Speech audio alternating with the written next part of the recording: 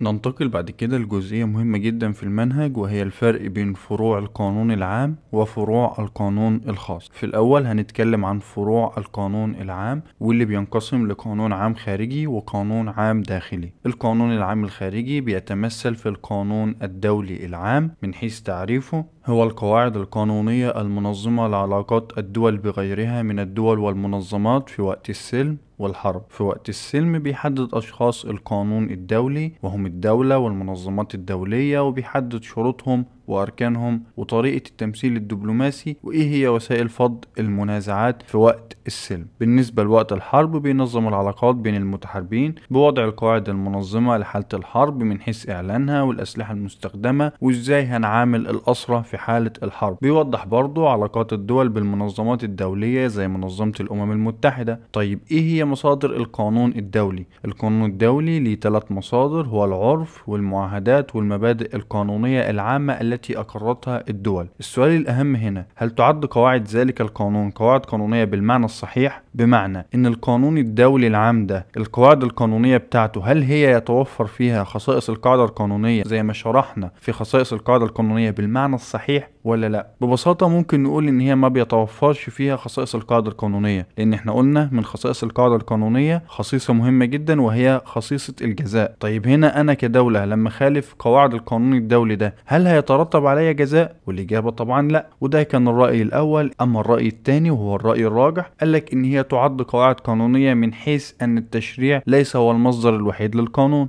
بل يوجد العرف والجزاء موجود من خلال قرارات مجلس الأمن ومبدأ المعاملة بالمثل. وعشان تقدر تفهموا مبدأ المعاملة بالمثل أنا باجي في دولة زي مصر أقول أنا هعين المواطن السعودي عندي في الوظائف العامة بشرط إن السعودية تعين المواطن المصري عندها في الوظائف العامة. ده مبدأ المعاملة بالمثل. وده كده القانون العام الخارجي بالفرع بتاعه اللي هو القانون الدولي العام. بالنسبة للقانون العام الداخلي واللي بينقسم لقانون دستوري وقانون إداري وقانون مالي وقانون جنائي. القانون الدستوري هو القواعد التي تبين نظام الحكم في الدولة والسلطات العامة فيها واختصاصاتها وعلاقاتها ببعضها وبالأفراد وتبين الحقوق والحريات للأفراد. وهنا نفس السؤال اللي طرحناه في القانون الدولي العام. هل هنا تتوفر في قواعده صفة القانون؟ الرأي الأول قالك إن هو ليس بقانون لعدم وجود جزاء يطبق على الدولة في حالة مخالفة قواعد القانون الدستوري. يعني بيقول لك إن الدستور ده هو أعلى قانون في البلد. لما الدولة تخالفه مين اللي هيحاسبها؟ مفيش لأنه هو أعلى قانون وده مش الرأي. الراجح. أما الرأي الراجح بيقول لك إنه بيعد قانون فالدولة هي اللي بتضع القانون ده وبتكون خاضعة ليه بالتبعية ولو خالفت أحد السلطات القانون ده بتردها سلطة تانية. يعني إيه الكلام ده؟ عندنا ثلاث سلطات سلطة قضائية وسلطة تشريعية وسلطة تنفيذية. لو السلطة التنفيذية خالفت شيء معين السلطة التشريعية بتردها وهكذا. ده المقصود بكلامهم. وآخر حاجة بيقول لك إن الشعب هو مصدر السلطات دي وهو كفيل إن هو يقدر يرد الدولة في حالة خروجها عن القانون لأن ممكن تحصل حاجة زي إن تندلع ثورة. بعد كده القانون الإداري قالك هو القواعد التي تحكم تكوين السلطة التنفيذية وتبين كيفية أدائها لوظيفتها. موضوعه قالك هو بيبين أنواع المرافق والخدمات بيبين علاقة الحكومة بالإدارات المركزية والفرعية بيبين علاقات الدولة بموظفيها والرقابة القضائية على أعمال الدولة وبعد كده القانون المالي. القانون المالي قالك إن هو بيبين القواعد التي تحكم مالية الدولة من حيث بيان الموارد المختلفة زي القروض وغيره كيفية تحصيلها وإنفاقها قواعد تحضير الميزانية السنوية للدولة وتنفيذها والرقابة على ذلك التنفيذ. ننتقل بعد كده للقانون الجنائي. القانون الجنائي بينقسم إلى فرعين. أول حاجة هو قانون العقوبات تاني حاجة قانون الإجراءات الجنائية. قانون العقوبات هو القواعد التي تحدد الجرائم وعقوبتها. بيحدد لك إنك لما هتاخد القلم ده أنت كده عملت فعل مؤثم وهو جريمة وعقوبته هتكون 3 سنين سجن. قانون الإجراءات الجنائية بيتضمن قواعد شكلية بتوضح إجراءات تعقب المتهم كيفية محاكمته وكيفية تنفيذ العقاب. ببساطة قانون الإجراءات الجنائية هو بيقول لك القواعد الشكلية. أنت سرقت القلم ده أنا هقول لك بقى إزاي تقبض عليه إزاي تفتشه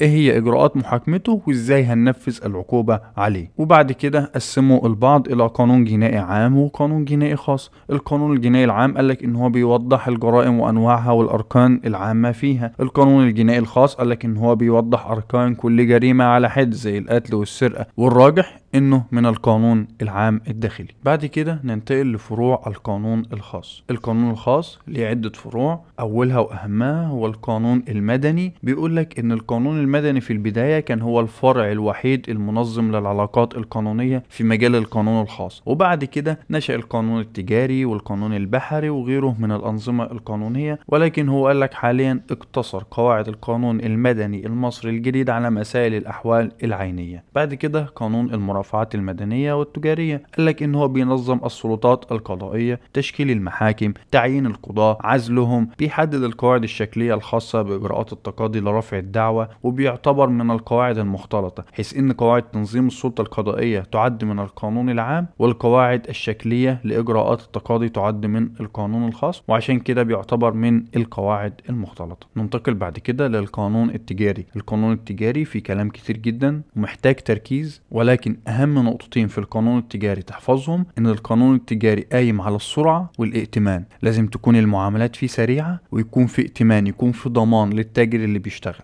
نشرح لك بقى إيه هو القانون التجاري. القانون التجاري قال لك إن هو بينظم العلاقة بين التجار والأعمال التجارية بيوضح شروط اكتساب صفة التاجر وأنواع الشركات التجارية وبيتناول إفلاس التاجر وبيلبي متطلبات السرعة والائتمان. السرعة والائتمان دول أهم نقطتين في القانون التجاري. وبعد كده بيوضح أهمية السرعة في النشاط التجاري وبيقول لك حرية الإثبات في المعاملات التجارية وبيضرب لك مثال إن في القانون التجاري الإثبات بكافة الطرق على عكس القانون المدني اللي الإثبات فيه لازم يكون بالكتابة لو زادت قيمة التصرف ده عن مبلغ معين. بعد كده بيقول لك تسهيل تداول الحقوق. في المدني بيقول لك لابد من قبول المدين بحوالة الحق أو إعلانه بها. في التجاري لا يلزم ذلك. تيسير إجراءات تنفيذ الرهن. بيقول لك في المدني للتنفيذ على الشيء المرهون يلزم وجود حكم أو سند رسمي. في التجاري بيقول لك يتم التنفيذ بناء على عريضة أهمية الائتمان في القانون التجاري. قال لك إن المدينين في القانون التجاري كلهم متضامنين في المعاملة التجارية. على عكس القانون المدني. المدني عدم جواز إعطاء المدين نظرة ميسرة. في القانون المدني قال لك يجوز إعطاء أجل السداد في القانون التجاري قال لك لا يجوز لحماية الائتمان. تلخيصا للكلام ده كله القانون التجاري أهم حاجتين بيقوم عليهم هي السرعة والائتمان. بعد كده ننتقل للقانون البحري. من حيث تعريفه قال لك هي القواعد المنظمة للتجارة البحرية. بيهتم بالسفينة بينظم العقود الواردة على السفينة زي بيعها وبينظم الحقوق الواردة عليها زي عقود النقل البحري وعقود العمل وقواعد التصادم